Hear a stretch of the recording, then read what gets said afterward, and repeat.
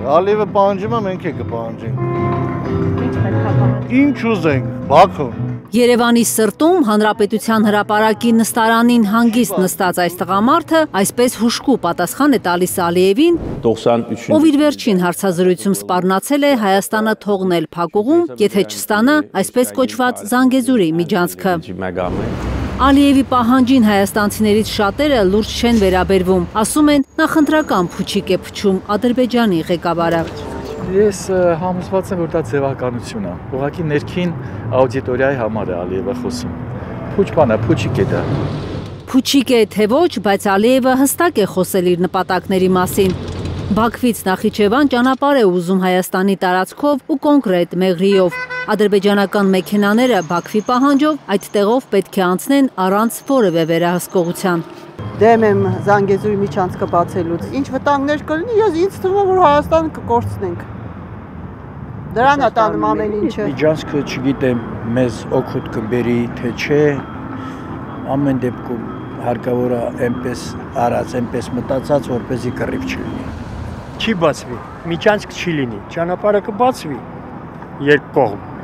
բայց միջանցք չի կարող լինի։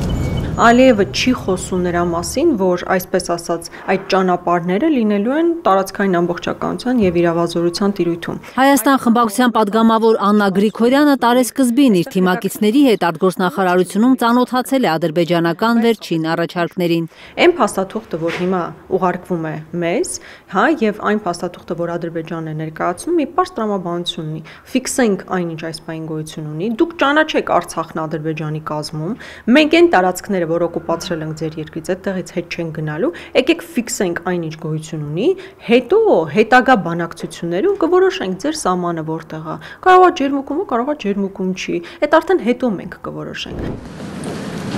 Հայաստանի եւ Ադրբեջանի միջև սահմանները հստակեցնելու գործընթացը խաղաղության փաստաթղթից հանելու մտադրությանը զուգահեռ ադրբեջանցիներն արդեն ամիսներ շարունակ լուրջ աշխատանք են տանում միջազգային հանրության հետ։ Մասնագետները ողրզել են, որ Հայաստանի տարածքների նկատմամբ հավակնությունների այսպես կոչված արևմտյան Ադրբեջանի թեզը աշխարհով մեկ տարածելու համար երալեզու տեղեկատվություն է տարածում Բաքուն։ Հայաստանի արևելյան ամբողջ սահմանագիծը ըստ մարզերի արդեն անգամ վարչական շրջաների են բաժանել։ Օրինակ Սյունիքը 4 վարչական շրջանի են բաժանել։ Անուններն էլ այնպես նմանեցրել, որ անծանոթ մեկը կարդալու դեպքում իսկապես կարող է համոզվել, որ օրինակ Գաֆանը ադրբեջանական շրջան է եղել, հայերն են այն Կապան անվանել։ Սյունիքի մարզը բաժանվում է 4 հիմնական վարչական շրջանի, առաջինը Գարաքիլիս է, երկրորդը Գորուս, երրորդը Գաֆան եւ չորրորդը Մեհրի։ Ինչու են անվանումները նման հայկականին։ Սա սա կուզեմ անպայման շեշտադրել։ Ադրբեջանական կողմը միշտ ասել է, որ հայերը իրենցից են վերցրել պատմությունը եւ դա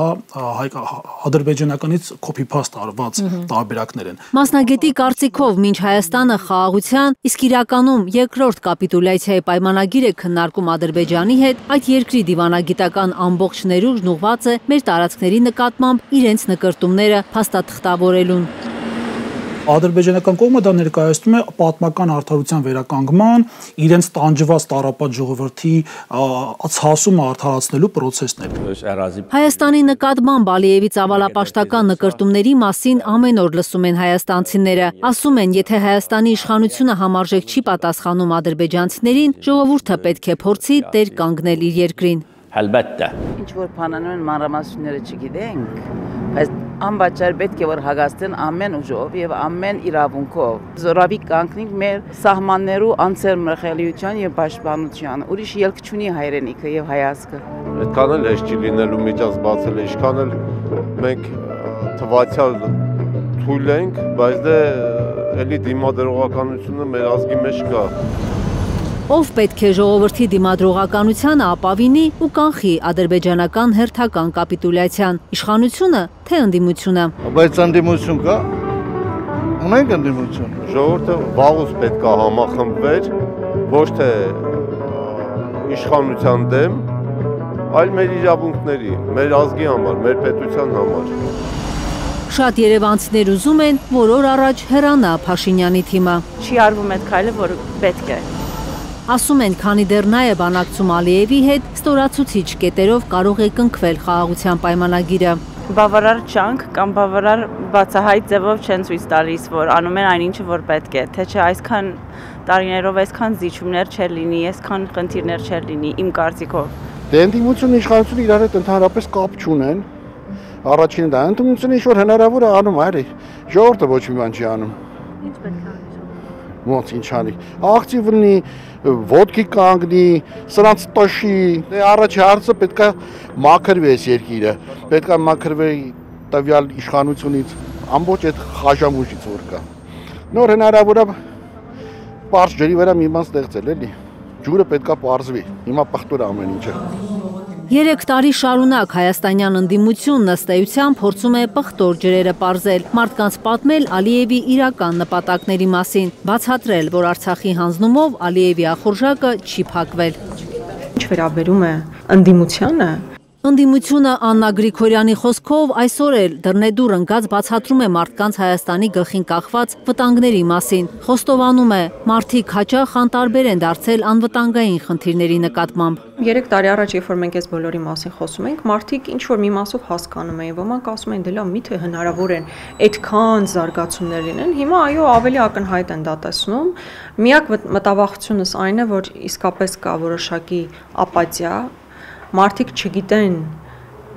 ինչ պետք է անել այս պահին իրենց հա իրենց հաշվով ինչ պետք է անել որպեսզի այդ անվտանգային խնդիրները լուծվեն եւ մենք էլ հստակ ասում ենք որ անվտանգային խնդիրների լուծում կա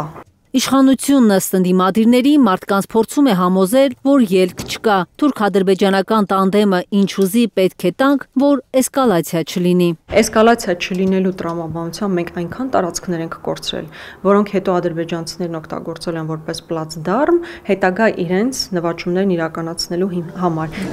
Ընդդիմադիր падգամավորը նկատում է Փաշինյանը, որ մի քանի անգամ վստահեցրել է, թե հիմնական սկզբունքների շուրջ համաձայնության են եկել ինքն ու Ալիևը, հիմա պետք է խոստովանի, որ խაფել է սեփական ժողովրդին որ ասում էի ամբողջական մեր երկիրը պահելու եմ 29800 կոնցեպտը միանշանականել եմ, ստել եմ։ Կարեն Մանգասարյան, Զարուհի Սահակյան, Աշոտ Մնոյան եւ Անիղ Անդիլյան, Հայլուր